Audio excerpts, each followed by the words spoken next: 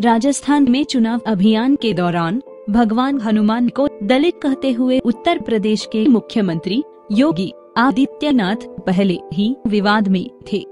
अब राहुल गांधी के एक्सीडेंटल हिंदू वाला बयान को उनके गोत्र के साथ जोड़कर फिर से विवाद खड़ा कर दिया है। शनिवार को अयोध्या में समरसता कुंभ का शुभारंभ करते हुए योगी ने राहुल गांधी पर ऐसा बयान दिया। उत्तर प्रदेश के मुख्यमंत्री योगी आदित्यनाथ ने कांग्रेस अध्यक्ष राहुल गांधी के मंदिरों के दौरे पर सवाल उठाते हुए कहा कि खुद को एक्सीडेंटल हिंदू कहने वाले लोगों ने अपने गोत्र प्रकट करना शुरू कर दिया है।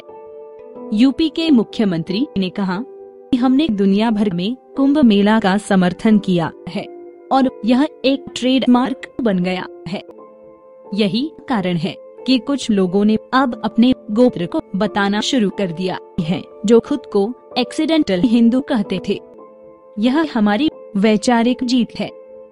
बता दें कि उत्तर प्रदेश के मुख्यमंत्री योगी आदित्यनाथ ने शनिवार को अयोध्या में समरसता कुंभ का उद्घाटन किया। यहाँ जनता को संबोधित करने के दौरान ये बात कही गई।